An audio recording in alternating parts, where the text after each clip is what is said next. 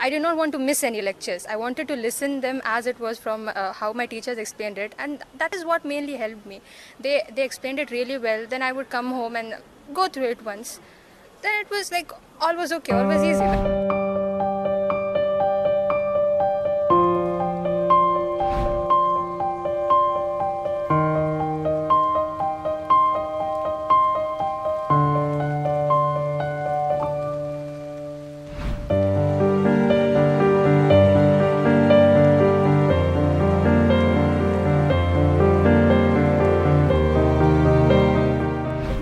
I had already done my preparation for pre-board, so it was a matter of just revision and then some here and there extra. By the time I was going to write my exam, I was calm and composed because anxiety and all that's not going to help.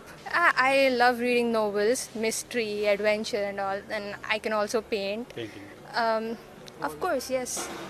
They have helped me, obviously. They have been there for me when I was uh, down in my ups and downs. Yeah. Yeah, ma'am. An elder sister and a younger brother. I'm going to do BSc Clinical Psychology. Yeah, it may be strange to hear, but uh, that was my dream since 10th grade.